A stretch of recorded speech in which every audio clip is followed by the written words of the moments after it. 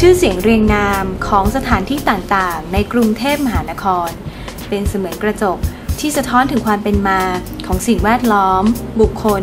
หรือเหตุการณ์ต่างๆ ในอดีต การเดินทางค้นหาเบื้องหลังของ ชื่อนั้นสำคัญชะไหนในครั้งนี้ เราจะพาทุกท่านไปรู้จักกับที่มาของชื่อ ถนนตะนาวกันค่ะ ถนนตะนาวเป็นถนนสายย่อยที่แยกมาจากถนนเฟื่องนคร สร้างมาตั้งแต่สมัยรัชกาลที่ 4 สำหรับที่มาของชื่อถนนตะนาวนั้น เป็นการตั้งชื่อจากกลุ่มคนที่อาศัยอยู่กันมากในอดีต โดยเป็นคนเชื้อสายพม่า ที่อพยพมาจากเมืองตะนาวสี มีอาชีพทอผ้าขาย คนที่สัญจรไปมายังถิ่นฐานนี้ จึงเรียกถนนสายนี้ว่า ถนนตะนาว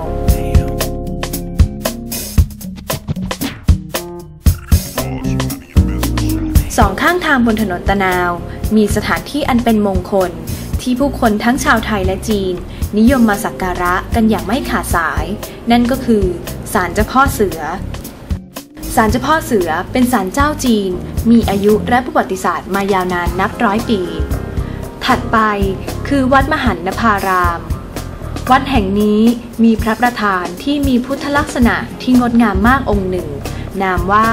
หลวงพ่อพระร่วงทองคำวาจาศักดิ์สิทธิ์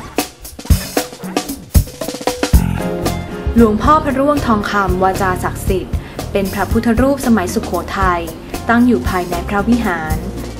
ผู้คนที่เข้าไปสักการะหลวงพ่อพระร่วงทองคำวาจาศักดิ์สิทธิ์มักมีความเชื่อว่า ท่านชอบตะก้อและว่าวดังนั้นผู้ที่มาสักการะส่วนใหญ่ จึงนิยมถวายตะก้อและว่าวอีกด้วย จากฝั่งสี่แยกคอกวัวข้ามไปอีกฝั่งหนึ่งของถนนสายเดียวกัน จะมีชื่อถนนช่วงระยะทางสั้นๆ ที่มีประวัติความเป็นมาที่น่าสนใจ เช่น ถนนข้าวสาร ในอดีตเป็นแหล่งค้าขายข้าวสารใหญ่ที่สุดของเขตพระนคร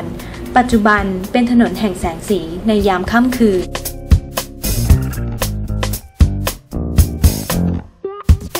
หรือถนนรามบุตรี